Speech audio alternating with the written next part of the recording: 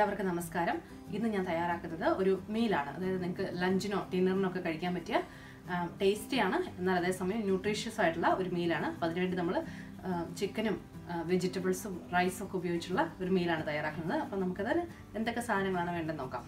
അതിനുവേണ്ടി ഞാൻ ഇവിടെ ഒരു കപ്പ് ബസ്മതി റൈസാണ് എടുത്തിരിക്കുന്നത്. അപ്പോൾ നമ്മൾ തയ്യാറാക്കാൻ പോകുന്നത് കോക്കനട്ട് റൈസാണ് ബസ്മതി റൈസ് നന്നായിട്ട് കഴുകി വെള്ളമൊക്കെ വാർത്ത് വെച്ചിട്ടുണ്ട്. ഇതിലേക്ക് നമുക്ക് ആവശ്യത്തിന് ഉപ്പിട്ട് കൊടുക്കാം.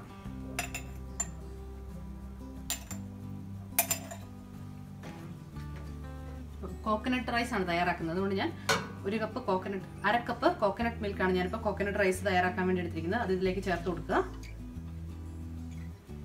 പിന്നെ ഒരു കപ്പ് വെള്ളം കൂടെ.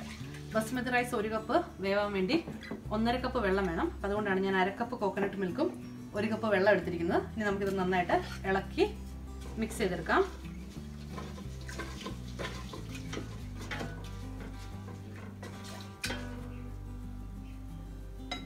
ഇനി നമുക്ക് ഫ്ലെയിം ഓൺ ചെയ്യാം.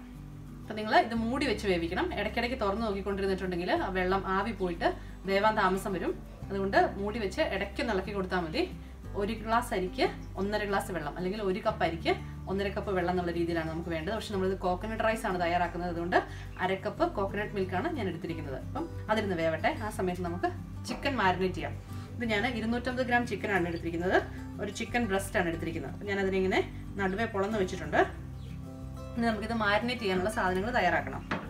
നിങ്ങൾ ചിക്കൻ എടുത്ത് അന്നേരം കൈ കഴുകണം കേട്ടോ. ഇല്ലെങ്കിൽ ചിക്കൻ നമ്മൾ പറയുന്നത് ചിക്കനകത്ത് പെട്ടെന്ന് ബാക്ടീരിയകൾ പെരുകും എന്നാണ് പറയുന്നത്. ഇങ്ങനെ റോ ആയിട്ടുള്ള ചിക്കന് അതുകൊണ്ട് നന്നായിട്ട് കഴുകിയിട്ട് വേണം. കൈ കഴുകിയിട്ട് വേണം. നിങ്ങൾ ബാക്കി സാധനങ്ങളൊക്കെ മിക്സ് ചെയ്യാൻ വേണ്ടി. ഞാനൊന്ന് കൈ കഴുകട്ടെ.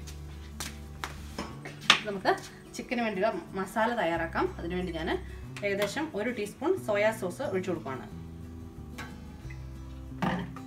നമുക്കിതിലേക്ക് ആവശ്യത്തിന് ഉപ്പ് ചേർത്ത് കൊടുക്കാം. പിന്നെ നമുക്ക് കുരുമുളക് പൊടി വേണം. അതിപ്പോൾ ഓരോരുത്തരുടെ എരിവിനനുസരിച്ച് ഇപ്പോൾ ഞാൻ അര ടീസ്പൂൺ കുരുമുളക് പൊടിയാണ് ഇരുന്നൂറ്റമ്പത് ഗ്രാം ചിക്കനകത്തേക്ക് ഇട്ട് കൊടുക്കാൻ പോകുന്നത്. നമുക്ക് വേണ്ടത് ഒരു നാരങ്ങ മുറിയുടെ നീരാണ് അതുകൊണ്ട് പിഴിഞ്ഞ് ഇതിനകത്തേക്ക് ഒഴിക്കാം.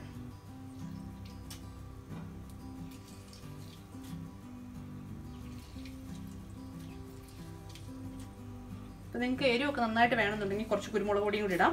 നമ്മൾ ഇതിനകത്ത് വേറെ മസാലകളൊന്നും ചേർക്കുന്നില്ല. അപ്പം ഇങ്ങനെ ഇതങ്ങ് മിക്സ് ചെയ്യുക.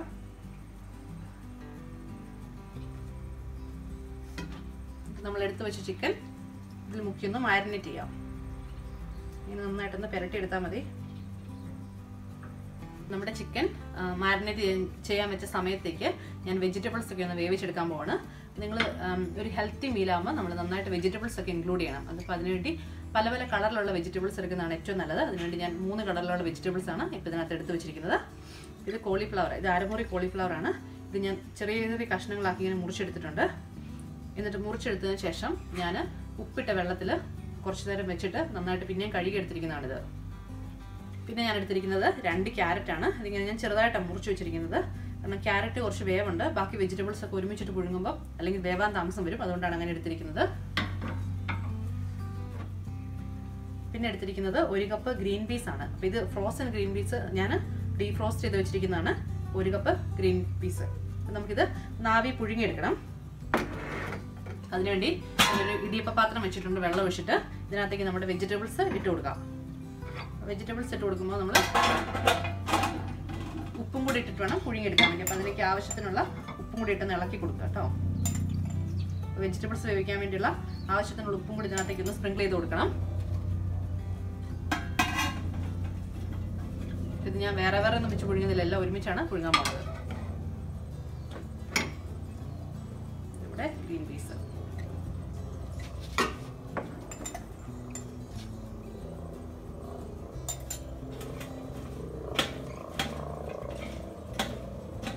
നന്നായിട്ട് ഉപ്പ് എല്ലാ ഭാഗത്തും എത്താൻ വേണ്ടി ഒന്ന് മിക്സ് ചെയ്ത് കൊടുക്കുക. നമ്മുടെ ചോറൊന്ന് തുറന്ന് നോക്കട്ടെ. നന്നായിട്ട് തിളച്ചിട്ടുണ്ട്. ഇതൊന്ന് ഇളക്കൊന്ന് ഇളക്കി കൊടുക്കുക.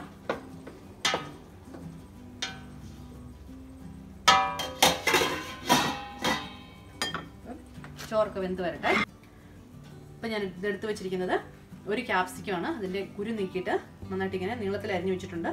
പിന്നെ ഇത് സവാള ഒരു സവാളനെ രണ്ടായിട്ട് മുറിച്ചിട്ട് അതിനെ വീണ്ടും നാലായിട്ട് ഇങ്ങനെ വലിപ്പമുള്ള കഷ്ണങ്ങളായിട്ട്. നിങ്ങൾക്ക് വേണമെങ്കിൽ ചെറുതായിട്ട് അരിയാം പക്ഷേ ഇങ്ങനെ വലിപ്പമുള്ള കഷ്ണമായിട്ട് അരിഞ്ഞാലും കുഴപ്പമില്ല. അപ്പം അങ്ങനെ ഞാൻ എടുത്തു വെച്ചിരിക്കുന്നതാണ്. ഇത് നമ്മൾ ചെയ്യാൻ പോകണമെന്ന് പറഞ്ഞാൽ ചിക്കൻ വറുത്തിട്ട് മിച്ചമുള്ള എണ്ണയിൽ ഞാൻ ഇതിനെ എന്നിട്ട് വാട്ടിയെടുക്കും നമുക്ക് ഒരു പത്ത് മിനിറ്റ് ചിക്കൻ എന്താണെങ്കിലും ഇരിക്കണം. പതിനഞ്ച് മിനിറ്റ് ഇരുന്നാലാണ് കുറച്ച് മസാലകളൊക്കെ അത് പിടിക്കുള്ളൂ.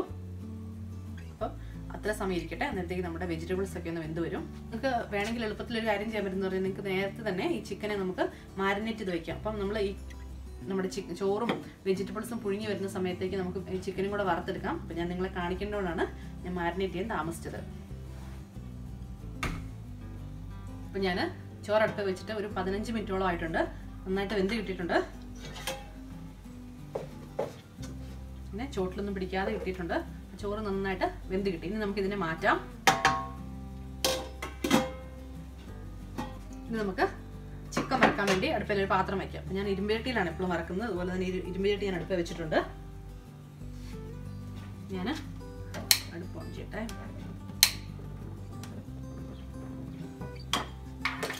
ചിക്കൻ മാരിനേറ്റ് ചെയ്യാൻ വെച്ചിട്ട് പതിനഞ്ച് മിനിറ്റ് ആയിട്ടുണ്ട്. ചിക്കനിൽ നിന്ന് വീണ്ടും വെള്ളമൊക്കെ ഇറങ്ങി നമ്മൾ ഈ വെള്ളം കൂടെ ഒഴിച്ചിട്ടാണ് വേവിക്കുന്നത്. മൂടി വെച്ചിട്ടാണ് ഇത് വേവിച്ചെടുക്കുന്നത്. കാരണം നമുക്ക് നമ്മുടെ ചിക്കൻ ഒരു ജ്യൂസി രീതിയിലാണ് വേണ്ടത്. ഒത്തിരി ഡ്രൈ ആയി പോയിട്ടുണ്ടെങ്കിൽ വെജിറ്റബിൾസിന്റെ കൂടുതൽ റൈസിന്റെ കൂടുതൽ കഴിക്കാൻ കൊള്ളത്തില്ല. അതുകൊണ്ട് ഞാൻ മൂടി വെച്ചിട്ടാണ് വേവിച്ചെടുക്കുന്നത്. ഇതിലേക്ക് നമുക്ക് ആവശ്യത്തിന് എണ്ണ ഒഴിച്ചു കൊടുക്കാം. ഒരുപാട് എണ്ണ വേണ്ട ജസ്റ്റ് ഷാലോ ഫ്രൈ ചെയ്തെടുത്താൽ മതി. ചിക്കൻ വറക്കാൻ വെച്ചാൽ എണ്ണ നന്നായിട്ട് ചൂടായിട്ട് വന്നിട്ടുണ്ട്. ഇതിലേക്ക് നമുക്ക് ചിക്കൻ ഇട്ട് കൊടുക്കാം.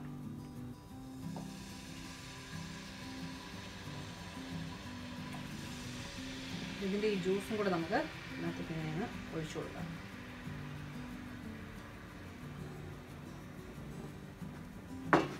ഇനി ഇത് നമുക്ക് മൂടി വെച്ചിട്ടൊന്ന് വറുത്തെടുക്കാം. ചിക്കൻ വെന്ത് വന്നിട്ടുണ്ട്. ഇതൊരു ഏഴ് മിനിറ്റ് ആയപ്പം തിരിച്ചിട്ടിട്ടുണ്ടായിരുന്നു. അങ്ങനെ രണ്ട് വശം നന്നായിട്ട് വെന്ത് കിട്ടിയിട്ടുണ്ട്. ഇനി നമുക്ക് ഇതിനൊന്ന് മാറ്റാം.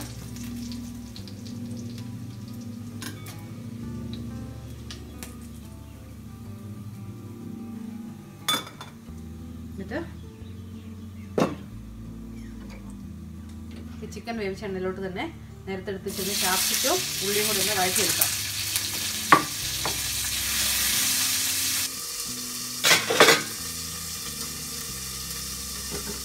കാണാതിരിക്കും നന്നായിട്ട് വെജിറ്റബിൾസ് ഒക്കെ വെന്ത് വന്നിട്ടുണ്ട്. നമുക്കിതിനെ മാറ്റുമ്പോൾ ഞാൻ കാണിക്കാം. ഈ ഉള്ളിയും ക്യാപ്സിക്കും ഒക്കെ നന്നായിട്ട് ഇങ്ങനെ വഴണ്ട് വാടി വന്നിട്ടുണ്ട്. നമുക്ക് തീ ഓഫ് ചെയ്യാം.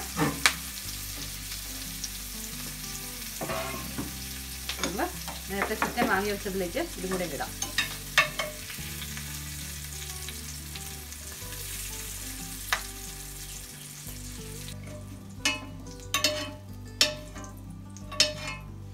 ഇത് വളരെ എളുപ്പമല്ലേ? നമ്മൾ മസാലകളൊന്നും അധികം ഉപയോഗിക്കാതെ പക്ഷെ നല്ല ഹെൽത്തി ആയിട്ടുള്ള ഒരു മീലാണ് നമ്മൾ റെഡിയാക്കിയിരിക്കുന്നത് ഇപ്പം നമ്മൾ റൈസ് ഉണ്ട് കാർബോഹൈഡ്രേറ്റ്സിന് വേണ്ടി വെജിറ്റബിൾ അതിനകത്ത് നമുക്ക് മിനറൽസും വൈറ്റമിൻസും ഒക്കെ കിട്ടും. പിന്നെ ഫൈബർ ഒക്കെ ഉണ്ട് ഇഷ്ടംപോലെ വെജിറ്റബിളിൽ പിന്നെ നമുക്ക് മീറ്റ് ഉള്ളതുകൊണ്ട് പ്രോട്ടീൻ കിട്ടും. പിന്നെ നമുക്ക് ഗ്രീൻ പീസ് ഉണ്ട്. അതും പ്രോട്ടീൻ റിച്ച് ആണ്. അപ്പം നല്ലൊരു ഹെൽത്തി മീലാണ് കാർബോഹൈഡ്രേറ്റും പ്രോട്ടീനും ഫാറ്റും ഒക്കെ ഉള്ളത് അപ്പം ഞാൻ ഇതൊരു സെർവിങ് പ്ലേറ്റിലേക്ക് മാറ്റിയിട്ട് നിങ്ങളെ കാണിക്കാം. ഞാനിപ്പോൾ തയ്യാറാക്കിയ ഡിഷിനെ ഇതുപോലെ ഒരു സെർവിങ് പ്ലേറ്റിലേക്ക് മാറ്റിയിട്ടുണ്ട്. ഒട്ടും മസാലകളൊന്നും ഇല്ലാതെ വളരെ ബ്ലാൻഡ് ആയിട്ടുള്ളൊരു മീലാണ് അപ്പം ഞാൻ ഇതിന്റെ ടേസ്റ്റ് ഒന്ന് നോക്കട്ടെ. ഇത് കോക്കനട്ട് റൈസ് ആയതുകൊണ്ട് വളരെ ടേസ്റ്റ് ആയിരിക്കും. അപ്പം ഞാൻ നോക്കട്ടെ. അപ്പം ചിക്കനൊക്കെ നന്നായിട്ട് കുക്കായിട്ട് വന്നിട്ടുണ്ട്. ഇതുപോലെ ഇത്ര ഡ്രൈ ഒന്നുമല്ല നല്ല ജ്യൂസി തന്നെയാണ്. ഇങ്ങനെ വെജിറ്റബിൾസും ചിക്കനൊക്കെ ഞാൻ കഴിക്കുക.